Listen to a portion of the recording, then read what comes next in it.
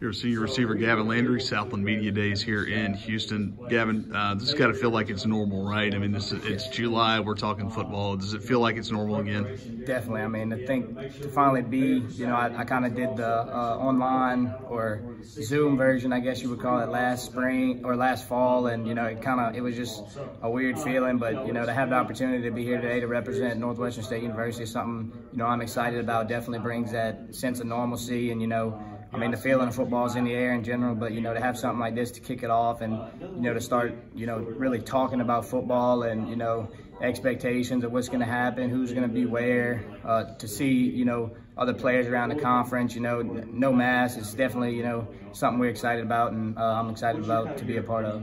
You guys, uh, you've basically been through a little bit of summer camp now. You're getting ready for fall camp. So again, what, has it hit you that it's kind of back in the regular rhythm you're used to? Oh, definitely. I think you know it.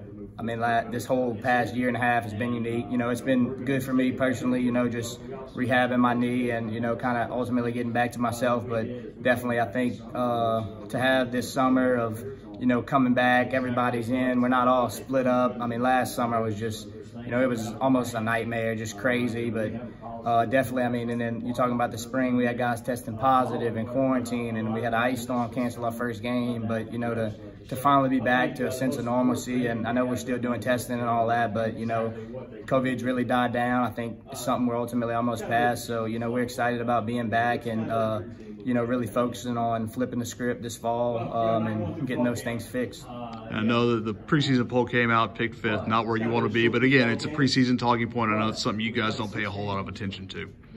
Definitely. I mean, I think if that was relevant and it really mattered, then I mean, we might as well just pack it up, give the trophy out to whoever won. But you know, uh, I mean, ultimately, it's something I don't really pay a lot of attention to. Anything, it's just a little motiva- a little extra motivation, you know. But I definitely think, uh, yeah, I don't think it has too much implications. I've seen a UIW pick second to last, uh, win the conference. So, uh, like I said, I mean, if ultimately, if it truly did mean something, and I mean, we might as well just, I don't even know why we would be here, but, you know, we're excited about it and, you know, just having a little bit of extra motivation. I sent a picture of the Southland Conference Championship trophy uh, to our team GroupMe last night and just saying, you know, we need it. And, uh, I mean, we're excited about it. We've got guys committed to it that expect to win, and we're looking forward to, you know, I guess I guess you could say proving uh, everyone that just put us down there wrong, and uh, you know we've got a great group that we're excited about going uh, to battle with this fall. All right, Gavin, thanks so much. Yes, sir. Thank you.